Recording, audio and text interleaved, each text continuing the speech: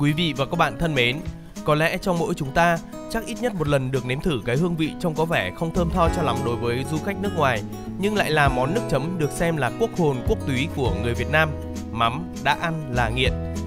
Mà nói tới mắm là có muôn vàn loại mắm, mà mỗi nơi, mỗi vùng miền có một loại mắm đặc trưng khác nhau. Nào là mắm tôm, mắm tép, mắm ruốc, mắm linh, mắm ba khía, mắm ruột, mắm nêm, vân vân. Chắc hẳn ai cũng đã từng ăn bún đậu mắm tôm hay thịt chó mắm tôm ở miền Bắc nhưng không biết món mắm tôm đó được làm từ con gì. Hoặc ăn quả vả ở miền Trung chấm ruốc. Tùy theo mỗi địa phương thì tên gọi khác nhau. Bún đậu mắm tôm ở miền Bắc, mắm ruốc hoặc tép chua đối với người dân miền biển. Mắm ruốc là loại mắm được chế biến một cách cầu kỳ, lên men theo công thức gia truyền từ những con ruốc tươi ngon. Mắm được ủ trong lu sành từ 6 đến 9 tháng và có hương vị đậm đà riêng biệt. Có thể nói, mắm ruốc đã trở thành món ăn quen thuộc trong mỗi bữa ăn hàng ngày của người Việt, đặc biệt là người dân miền Trung và miền Nam. Tại miền Trung, ruốc Huế được xem là báu vật của nền ẩm thực vùng cố đô. Xin mời quý vị và các bạn cùng Tung Tăng TV theo chân người dân miền biển đánh bắt con ruốc hay còn gọi là con tép biển, con khuyết để làm nên món ăn độc đáo này.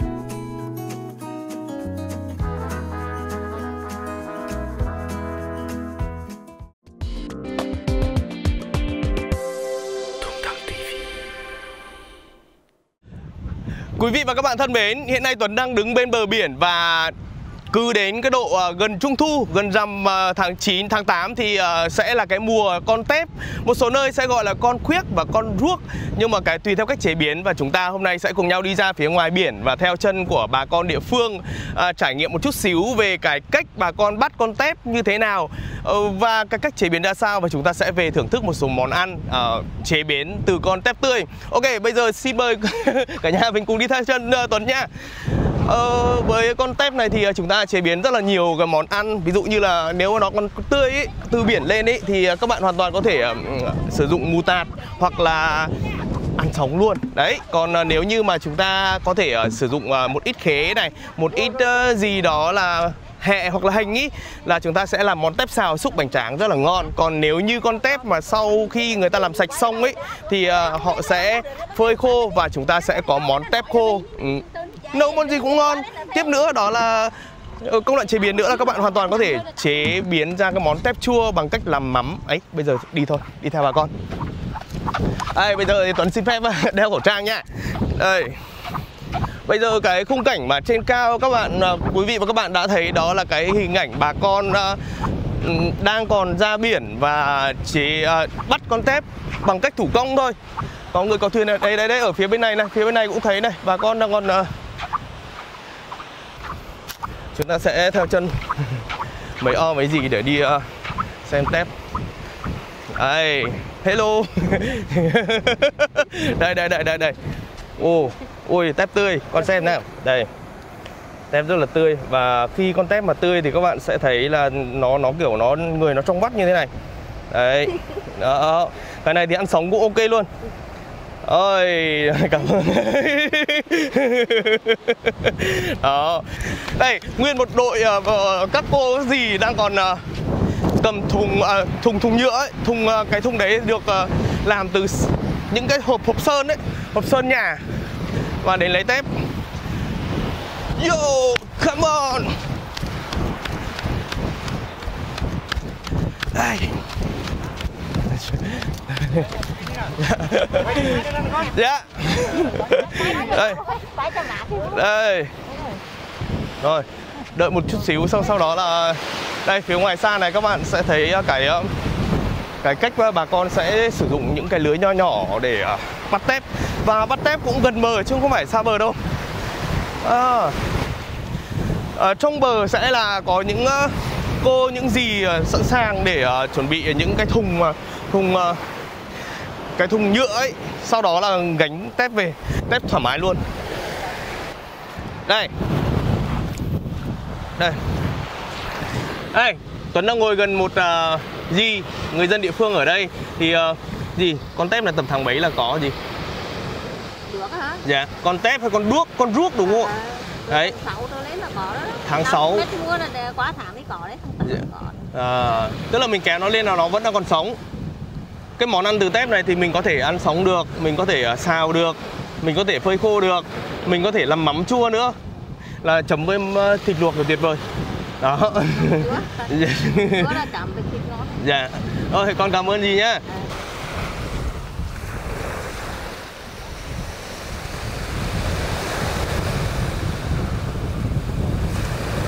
Đó, bà con ở đây sẽ sử dụng một cây à, xào rất là dài. Và cái xào này thì mình quan sát thấy à, sẽ buộc tầm lưới rất là mịn vào để có thể à, kéo tép lên. Bởi vì con tép nó rất là nhỏ nó đầu, bằng đầu đầu quay tăm thôi.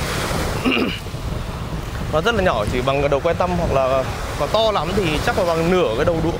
Đầu đũa là là là là là to lắm rồi. Đấy Tuấn vừa đi vừa nói chuyện cho nên là có gì thở gấp không? Quý vị và các bạn hết sức thông cảm nha. Chúng ta đi theo cái cái cuộc sống của bà con người đây.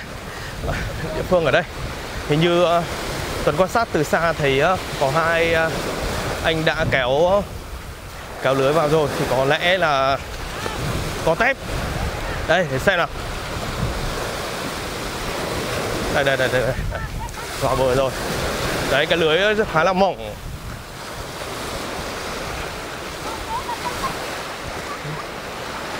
Thôi. Đây. Uhu, nước mát quá. Ui đấy, người dân miền biển rất là dễ thương. Đấy. Chúng ta sẽ đứng đây quan sát bởi vì Tuấn ờ, không thể đi ra ngoài được. Sóng khá là lớn. Đây đây đây bắt đầu ờ, tép ở trong kìa. Thấy chưa? Các bạn thấy ờ, màu sắc ở vàng vàng ấy. Đấy. Rồi tép phía dưới. Đây. Ui! Ui ui! Đấy tép đấy. Rồi. Đấy. Đó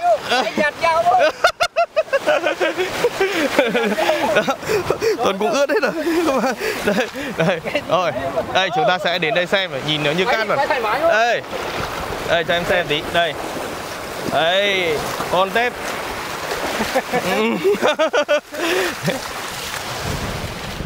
Rồi. Uh, bà con sẽ lắc qua lắc lại để cho cát nó xuống và không bị uh, rơi vào tép. Khỏi cát đấy. À. ui tép tươi đây. ngay mình kéo được khoảng tầm mấy ký á chú? Tạ. Tạ vài bát tạ. À. Đấy. Rồi chờ đợi ơi tôi. rồi tép đây. Quá nhiều luôn. Tép tươi luôn tép này ăn sống luôn nha. Ăn vô tư luôn. Đấy rồi bây giờ thôi cảm ơn. Bây giờ sẽ o sẽ gánh về. Gánh về và bán cho bán cho những cái người đến thu gom. Đấy. Đây, rồi cảm ơn đi. Đó.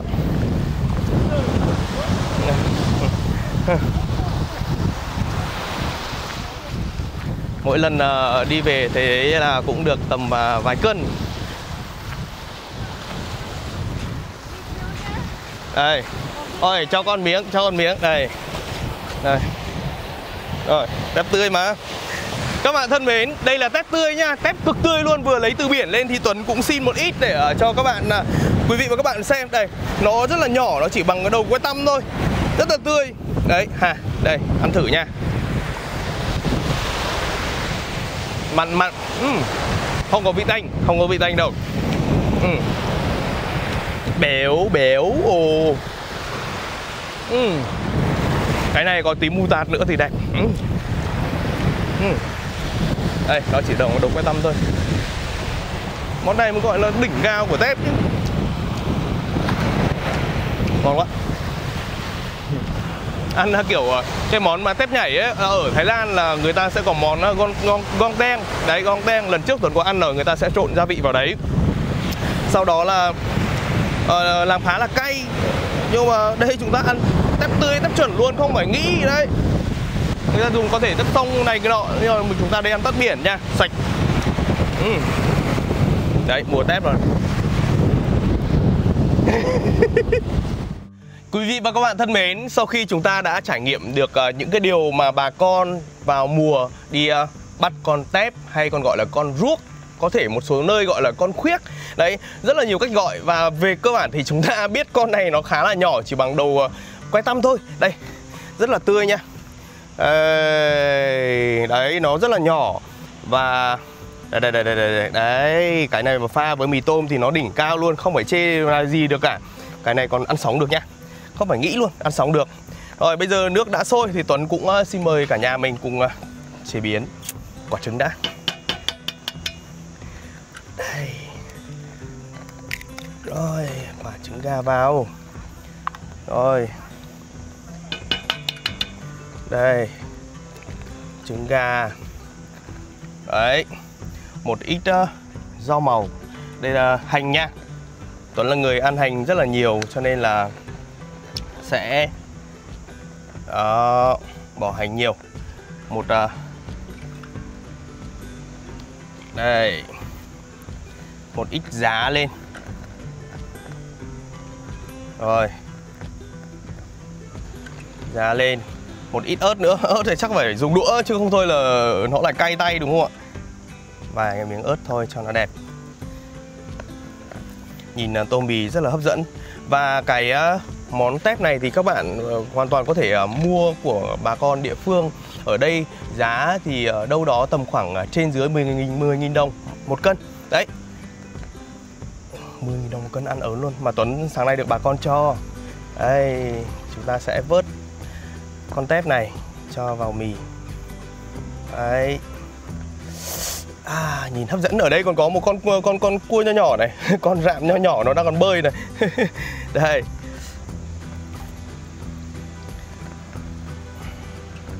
Rồi. Tí uh, phần còn lại của tép thì chúng ta sẽ làm món khác. Làm nhậu. Tối chúng ta sẽ nhậu. Đây. Đó. Ờ, cái con tép này à, nếu như mà chúng ta bắt dưới biển lên thì lưu ý ờ, lọc qua một cái lớp nước hoặc là rửa sơ qua một tí xíu bởi vì nó sẽ cát nha các bạn nó cát nhiều ấy nhưng mà ờ, gặp tép non này thì chắc là nó ngậm cát không nổi đâu mình đã ăn rồi đây tô mì đỉnh cao luôn. Đấy. Cái này thì ờ, nó chỉ ờ, xuất hiện nói thực sự nói nó xuất hiện đâu đó tầm khoảng 4 ngày trong một năm có năm có có năm không. Cho nên ờ, có thể gọi đây là một món đặc sản của biển. Và chỉ có một số địa phương có thôi. Rồi nước đã sôi. Ê, nóng quá. Rồi chúng ta sẽ đổ nước vào mì nhé. Rồi nóng quá.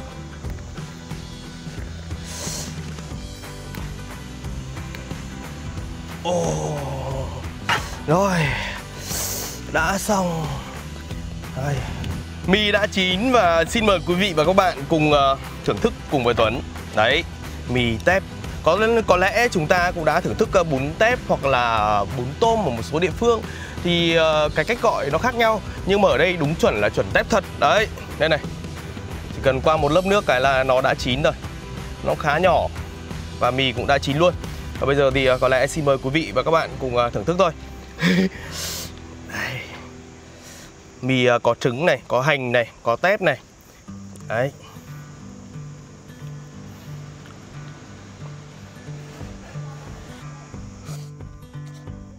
uhm. Uhm. ngọt uhm. nóng hổi vừa hổi em uhm. tép rất là ngọt luôn. Tép tươi mà. Đấy.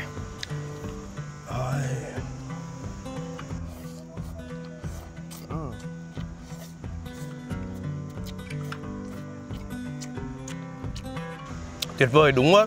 Thực sự đây là một món đặc sản của biển. Mà có lẽ không phải ai cũng được thưởng thức đâu. Ừ. Quý vị và các bạn thân mến, sau khi chúng ta đi theo chân của người dân địa phương đi bắt tép thì ờ, Tuấn đã được ờ, bà con bán cho một ít tép và chế biến được ờ, một số món như sau. Đầu tiên phải nói đến là tép xào. Món tép xào này thì chúng ta sẽ xào với hành này, hành củ này, rồi là lá hành. Đấy sẽ có món ăn như thế này hầu như cái món ăn này là khá là đặc trưng của người dân địa phương ở đây người ta sẽ ăn bằng xúc bánh đa hoặc bánh tráng ấy đấy để chén chén và có tí rượu nữa thì đẹp. Nhưng mà Tuấn này lại uh, quan tâm nhất đó là cái món ờ, tép tươi và ăn sống và mù tạt như thế này. Đấy tép mà tươi mà vớt dưới biển lên thì nó phải gọi là đỉnh cao. Tất nhiên thì uh, chúng ta sẽ không thiếu một uh, ít chanh đúng không ạ? Đấy. À.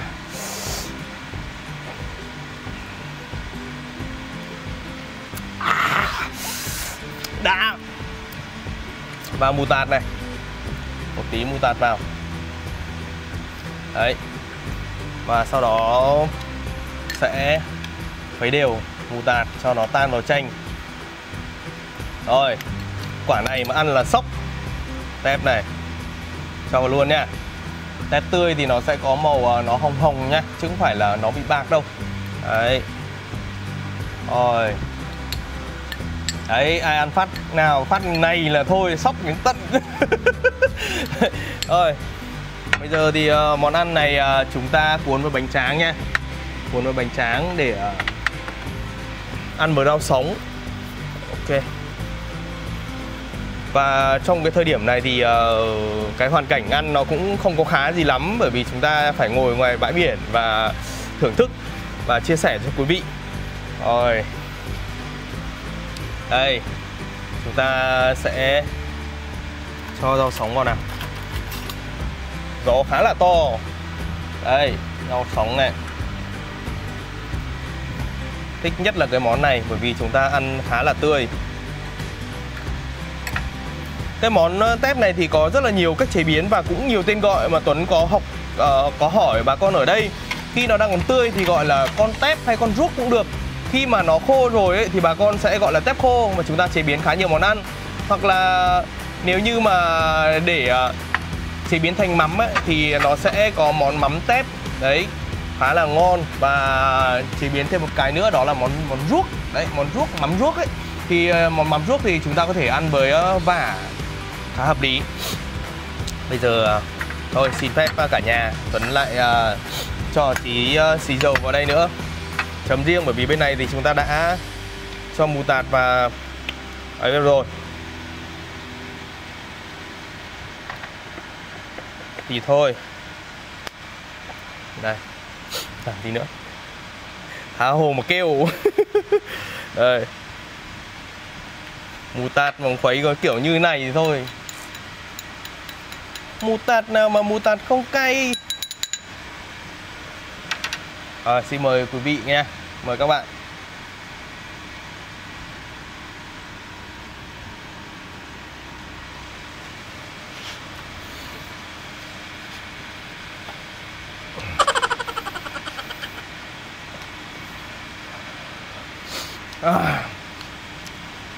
Cái sự sốc của mù tạt chua chua của chanh vị đậm đà của xì dầu. Thêm nữa là ngọt ngọt của con tép đang còn tươi. À nó đã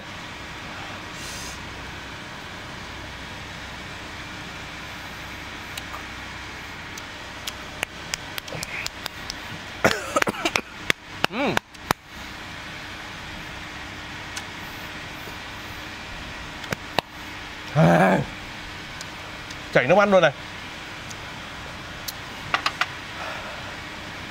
Thực sự đây là một món ăn um, khá là ngon và ngọt. Tuấn sẽ ăn thử miếng bánh tráng xúc tép nha. Đây này. Xin mời quý vị. Đây. Úi giời.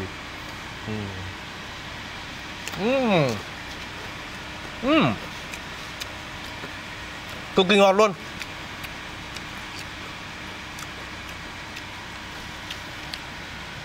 Quá trình mà sơ chế tép thì ờ, chúng ta nên rửa sạch một tí xíu chứ không thôi nó bị cát đấy ừ. Ừ. À. một món có thể gọi là đặc sản vào mùa tép có lẽ bây giờ thì um, xin phép quý vị và các bạn uh, tất cả anh em và ekip sẽ cùng vào ăn luôn còn cảm ơn uh, tất cả mọi người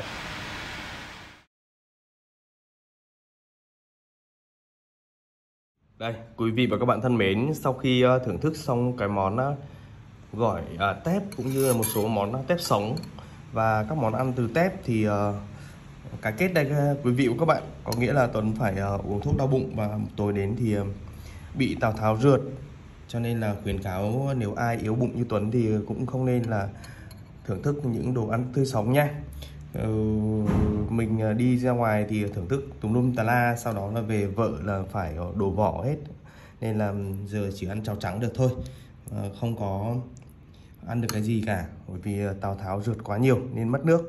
Thì nói chung là chia sẻ một chút xíu về cái nỗi khổ mà trong quá trình ăn uống và thôi cũng mong quý vị hết sức thông cảm và các bạn và quý vị hết sức thông cảm là nếu như mà có yêu thương Tuấn thì cũng ờ, mong ờ, cả nhà mình đăng ký ờ, subscribe kênh YouTube của Tuấn Tăng TV để chúng ta lại đón xem những cái chia- chia sẻ cũng như trải nghiệm mới nhé.